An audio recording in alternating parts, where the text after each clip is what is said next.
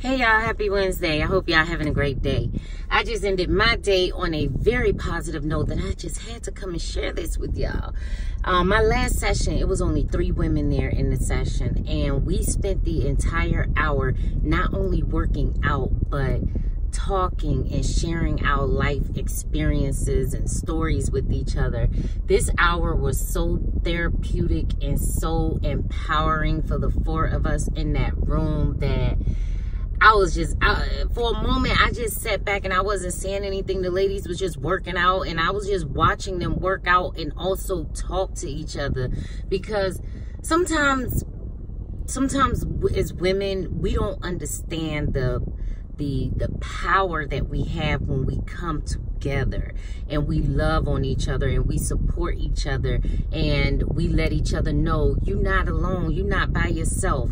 I've been there or i'm going through this right now but i'm still here pushing through. I'm still going through the pain. I'm still going through the struggle. I'm still going through the hurt that I've, i'm experiencing. But we all understand that this pain is what is going to help us grow. This pain that I had to go through is what's got me where I am today. So me and my clients just spent a whole hour really, really loving on each other and empowering each other and just talking. Sometimes like it's not about coming in there and me being a drill sergeant for for my girls. It's about me supporting them and them supporting each other. It's a community of women that love on each other and support each other. We all realize that we all have the same goal to live healthy and happy but we all have our own individual struggles.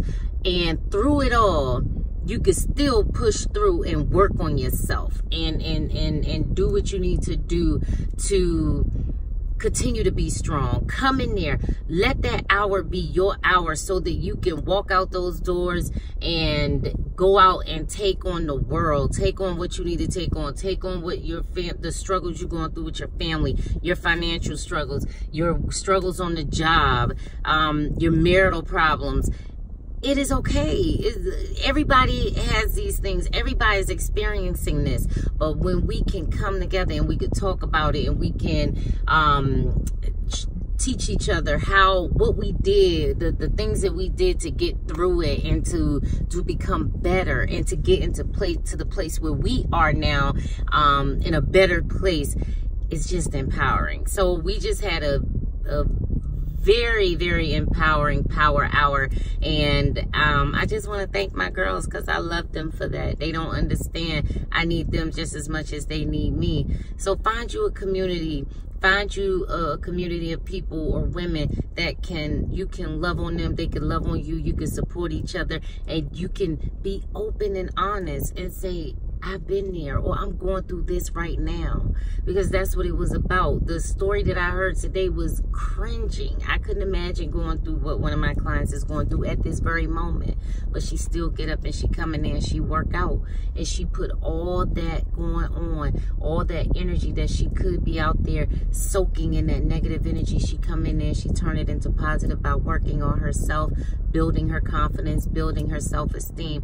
And then she's even more powerful enough, even strong enough to share that story with us. So I hope this helps you ladies. I hope so you guys can go out and find a place in your community where you could feel safe and secure in that sacred place, in that safe haven where you can be loved on and you can love on others and help them through their struggles as well.